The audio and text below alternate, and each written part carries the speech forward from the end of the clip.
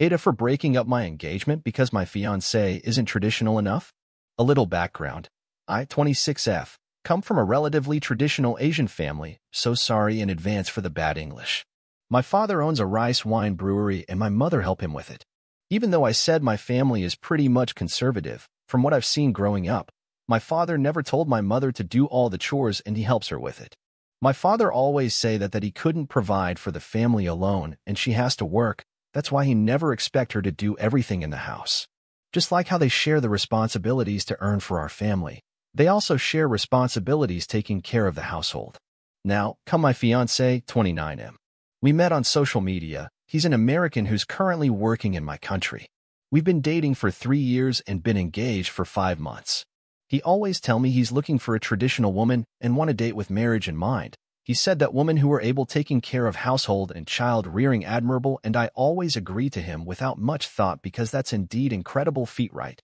He's working in a small university and I'm currently working in hospital. We saved enough to buy a house with a little bit of the help of my parents, but we haven't moved in together though because you know Asian parents. But anyway, on my father's birthday last week, we talked about marriage once again.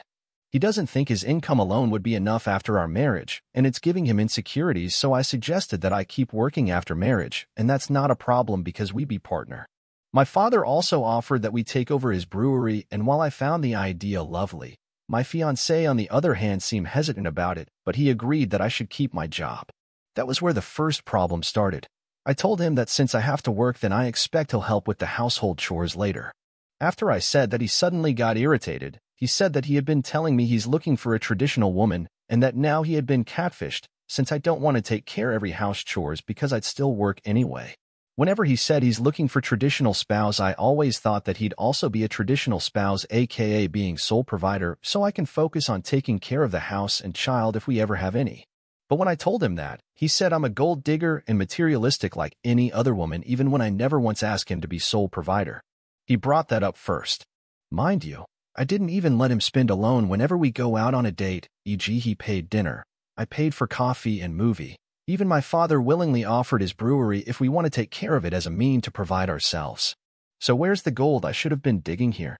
That was when I actually put the ring down and tell him that I want to break up. I told him he's not traditional enough if he wants fully traditional wife. I didn't want to deal with someone who could easily call me a gold digger because I want to share the chores that hasn't even happened yet in front of my parents. I can't help but think if he could easily said what he said in front of my parents when we haven't married yet, then he could be saying something worse if we're married and alone.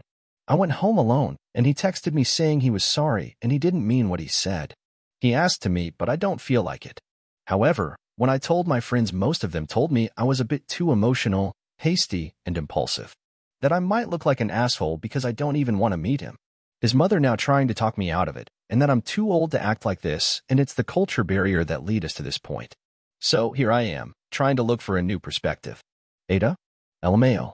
He wants a live-in maid slash servant that he can have sex with. He wants an indentured servant, not a partner. He wants to have his cake and eat it too. He is showing his true colors here.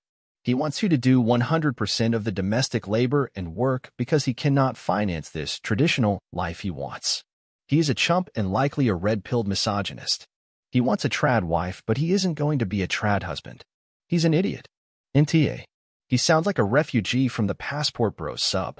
I hope he gets legitimately catfished and ends up losing a ton of money to some woman who he thought he could exploit and degrade. That's what I was thinking when I read this. So many of the posts on there are men looking to spend the minimum amount of women to find women who will be their bang maids.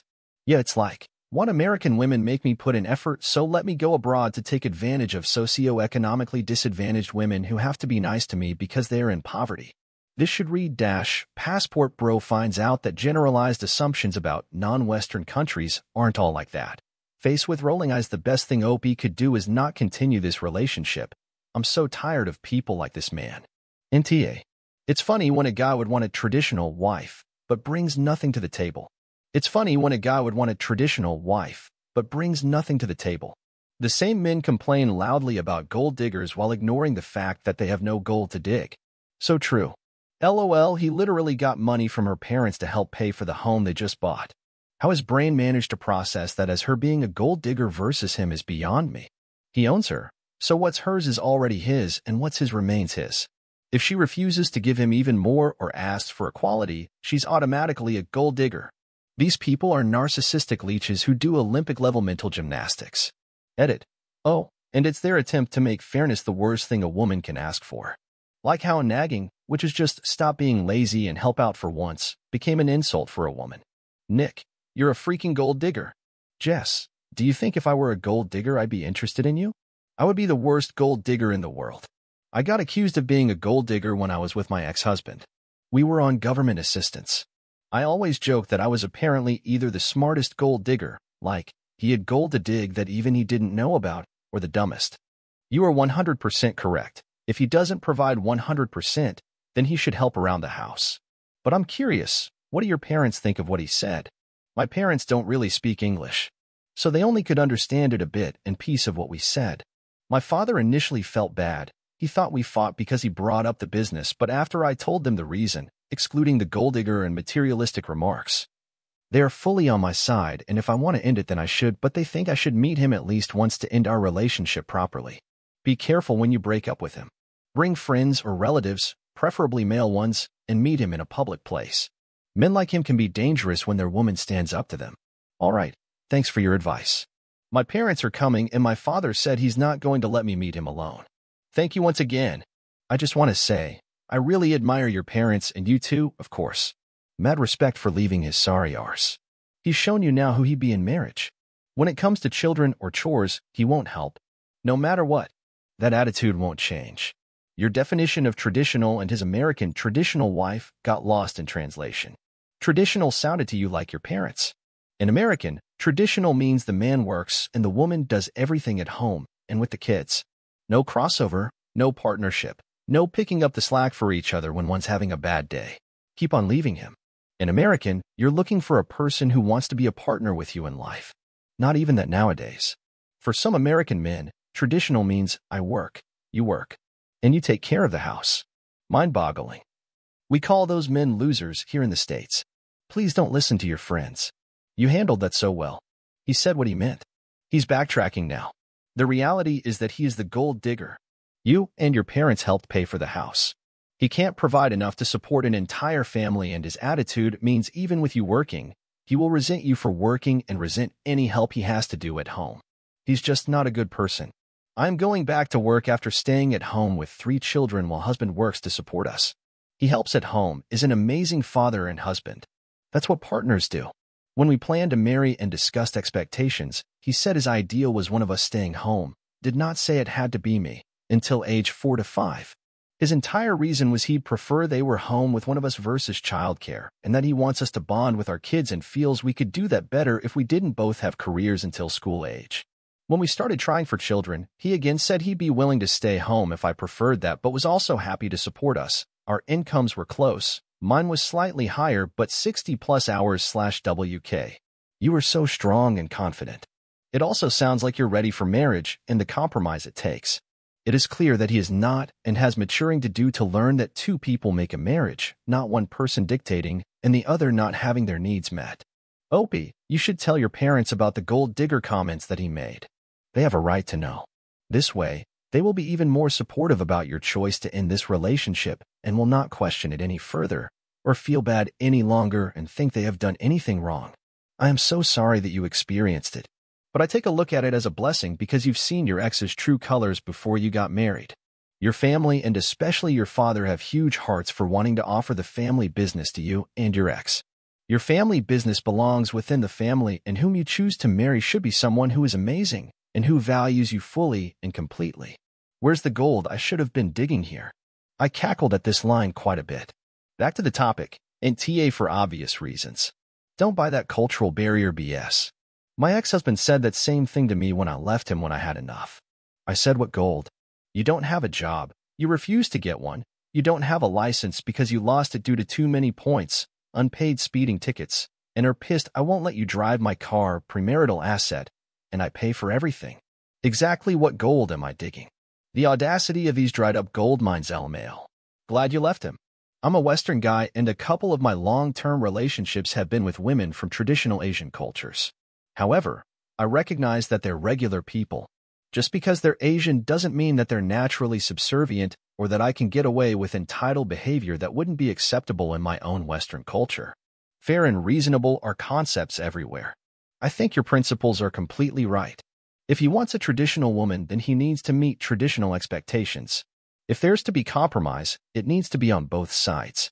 I'm not interested in providing financially and therefore can't realistically expect someone who is interested in doing all of the household tasks. If that is my expectation, I would expect to be dumped. I love the way you phrase it. I'm sick of dealing with Western men who thinks Asian wives are just subservient. I have never seen or met any subservient Asian wives, ever. They usually run their household with an iron fist. As someone who lives in Asia, LMAO subservient is the last word I would use to describe women over here. They're on top of their shit. They want you to be set before you get married too, etc., etc. That's why their men will turn around and date us foreigners thinking we don't care as much about dollar, education, family. We do, only the language is different, right? During one of the bad arguments with my ex, he actually said, You were supposed to be nice and submissive. You're Asian. I have never laughed so hard at him. I knew a Filipino guy whose mom was literally four foot tall and could gather an entire room to her presence just by yelling. He was about six feet five inches, and it was hilarious seeing him with her. She took zero shit. And my mother's best friend was from Hong Kong. I have never met a more dominant woman in my life. Also very small, but could easily project her voice to a whole house if she felt like it. She was a whirlwind, but in a good way. She got shit done a hundred times better than anyone else I knew. And faster. These men haven't even met an Asian woman if they think they're all soft and quiet. That's the stereotype, but it ain't the reality. Personally, I think the above women's traits are more attractive because they're so assertive and confident. I'd love to introduce them to the Passport Brothers. NTA. He's the typical guy who likes traditional roles when it's convenient for him. You sweeping the floors while he rests his ass watching TV, but traditional goes out the window when it comes to providing for the household. Besides, you can't be a gold digger when his salary isn't even enough to hold up his side of the deal. I mean, this guy is pathetic. Surely he wants to marry a nice traditional Asian girl because no American woman is going to put up with his BS. So he wants you to do everything a traditional wife and mother does, but also half of what the traditional father does? What a scam. These days, a stay-at-home wife is a luxury most men can't afford. He better get a second job. He's one of those toxic manosphere morons who think they deserve a bang maid just for being a man. Why is it always the poor men who think women are gold diggers? If you're a gold digger, you're not very good at it. LOL. NT, you're wise to let this entitled little shit go. Sounds like he listens to Andrew Tate. They like to spout the virtues of traditional households, but oh, if a woman's not working, she's a gold digger. He's hesitant about taking over your father's business because his game plan is to eventually quit his job and leech entirely off you. If you get married, you will be a single mother to this man. Andrew Tate espouses slavery of women. I cannot stand him. NTA. Good for you realizing this wouldn't be an equitable split at all. If you haven't heard of Passport Brothers, look up the concept. I wouldn't be surprised if your ex falls into that mindset. I read that passport brothers are becoming such a plague in some countries that they're now targeted for robberies. A woman will pretend to be interested, lure a dude who thinks he just scored a hot bang maid into a secluded area, and then her friends steal his wallet and shit. The exploiter becomes the exploited. You love to see it. I really have trouble mustering up any sympathy for a sex tourist looking to target vulnerable women. He called you a materialistic gold digger who catfished him in front of your parents? You are definitely NTA. And I think you're right to worry that much worse would be coming your way behind closed doors. If you do decide to keep him in your life, please proceed with caution. And his mother is wrong. This isn't a cultural barrier. Her son is a walking red flag. Yes, but my parents don't really speak English, so maybe that's why. I find his remarks even more rude because of that. I don't think I will keep him, and you're absolutely right. It's sad that I only found out when we were already at this point, but I'm glad we haven't gone further. The world would be a better place if more women had your sense of self-worth. You heard a man say that he planned to use you for free domestic labor while getting his bills subsidized by your income and said nope. Mad respect. I would also reconsider these friends who are calling you emotional for not giving in to his emotional hissy fit. You are not impulsive. You are smart and self-assured. I absolutely guarantee he would have blown a gasket if you'd responded to his gold digger insult by saying he wasn't a real man since he can't provide for his wife. If anyone catfished anyone, it was him claiming he wanted traditional gender roles only to pull the rug out when marriage was impending. block him and his mom and thank your lucky stars you got out before the altar. NTA, and good on your parents for raising you to see what a healthy partnership looks like so that you know when one absolutely isn't. I think you've made a very smart decision walking away from this relationship. These are all big red flags. No amount of sweet talking will change his perspective. You are in no way a gold digger. It is absolutely a reasonable expectation that if you are a stay-at-home wife, that your husband is the breadwinner, and if you need to work then the household chores need to be divided up to reflect that. Keep your head high and move on. NTA. If the dude wants a trad wife, he needs to be 100% sole provider to fill that trad husband role. That's only fair. Just be glad you realized how he is before getting married.